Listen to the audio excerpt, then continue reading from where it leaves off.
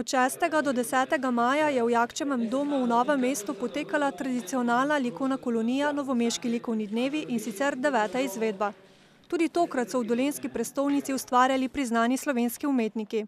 Novomeški likovni dnevi postajajo kar referenčna oblika, ker je kar nekaj avtorjev, ki si želijo priti v ta prostor, seveda smo pa z nekim številom udeležencev vedno omejeni. Ne.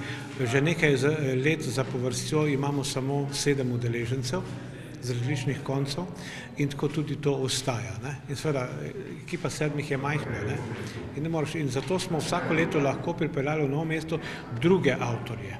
Po, devetem, po, po letošnjih devetih likovnih dnevih uh, se bo nabralo že natanko 70 likovnih del, ki tvorijo zelo bogato uh, likovno zbirko. Uh, teh, tega verjetno enega najprepoznavnejših naj, uh, likovnih projektov v uh, Novem mestu.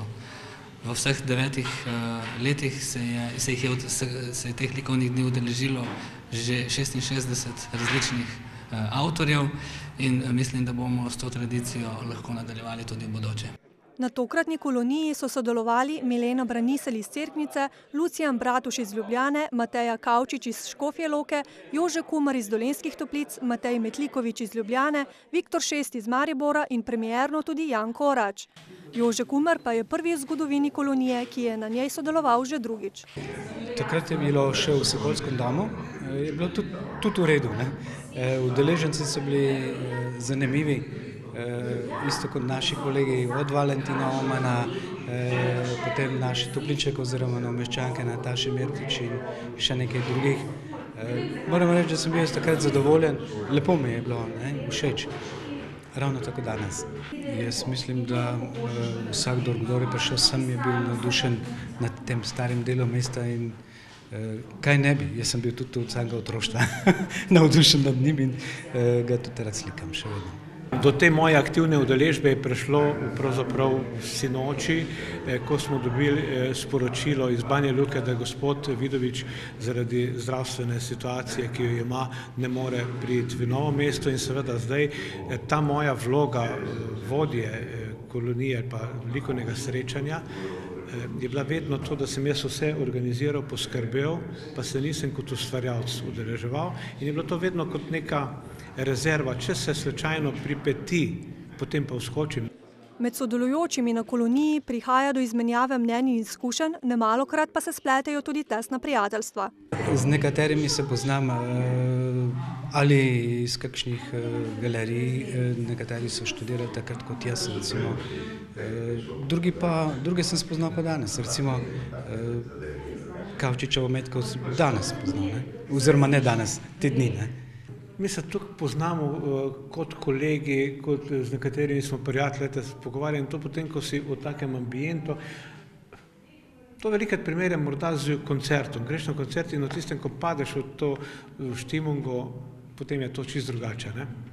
Čisto drugače doživiš glasbo, doživiš vse, kot pa če bi sam doma nekje v sobi poslušal. Je sicer lepo, ampak tukaj je drugo. Se pogovarjajo z enom, debatiramo o teh problemih, drugačnih, tudi o veseli plati umetnosti. Ne? Po izkušnjah sodeč so gostujoči umetniki precej navdušeni nad dolensko prestolnico in vsem, kar jim nudi. Glede na to, da so vsi do sedaj bili zelo zadovoljni z sprejemom in pogoji dela, Poleg tega pa tudi uh, sami vidimo, glede na ustvarjena dela, so, so, se, radi prihajajo v novo mesto in uh, sam Jakčev dom je verjetno nek poseben prostor, kjer dobijo še dodaten uh, navdih za svoje ustvarjanje. Tako da uh, do sedaj so se vsi zelo pozitivno izrazili o sodelovanju na teh novomeških likovnih dnevih in pripričan sem, da ni razloga, da ne bi bilo tako tudi v bodoče. Ja, novo mesto kot navdih mi ne predpisujemo teme, ampak sem se z nekaterimi pač pogovarjal, morda najdejo kakšne istočnice, zato jim vsako leto jih popeljamo po zbirkah Jakčevega doma, se jim to strokovno predstavi tudi ostale zbirke Dolenskega muzeja, prav zdaj bomo imeli še obhod novega mesta pod strokovnim vodstvom. Torej, če nekdo najde nek stik, ni bil tukaj namen kolonije kot nekoč, da smo šli ob Krko in slikali mestno veduto.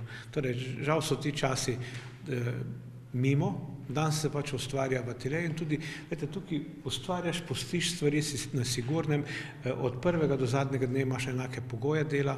Odprtje razstave devetih novomeških likovnih dni pa bo na tradicionalno vseslovensko poletno muzejsko noč 15. junija v Jakčevem domu.